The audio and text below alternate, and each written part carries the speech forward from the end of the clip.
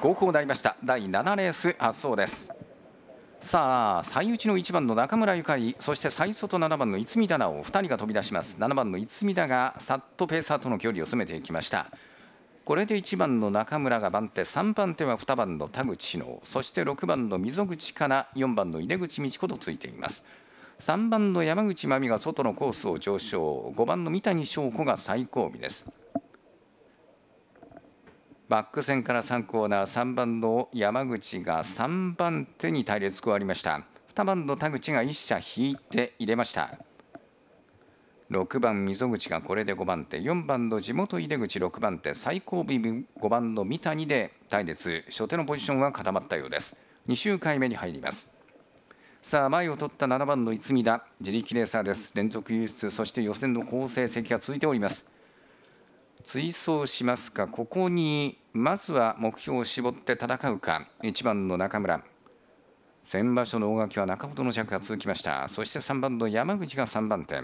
前回の青森戦会心の完全優勝です。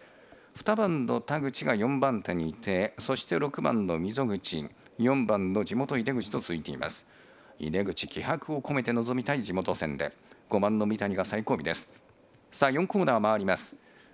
2周回目も間もなく終わりを告げようかというところで地元4番の井出口が動きました。6番手から外のコース車を前へ前へと上げていきまして1コーナーでは3番手の外3番の山口に負担をしています。さあ山口は車を引きました。これで4番の井出口が追い上げて隊列に加わってこの位置。3番の山口が4番手です。金が入りましてペーサーが退避しました。3コーナーです。7番の逸見田が先頭です。このまま逃げるのか。3番の山口が仕掛けるのかどうか山口は4番手で車間を切ってその後ろでは6番の溝口が内々追い上げていきます。さあ溝口が4番手。そして3番の山口がその外辺りから最終周回ホーム仕掛けて1コーナー外のコースをまくっていきます。前受け先行で7番の逸見田。ここをスピード勝るか3番の山口真由のまくりが捉えそう。2コーナーからバックです。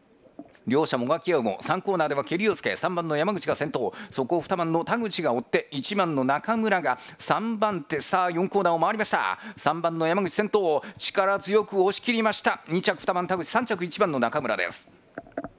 第7レース L 級ガールズ。予選1の2組目です。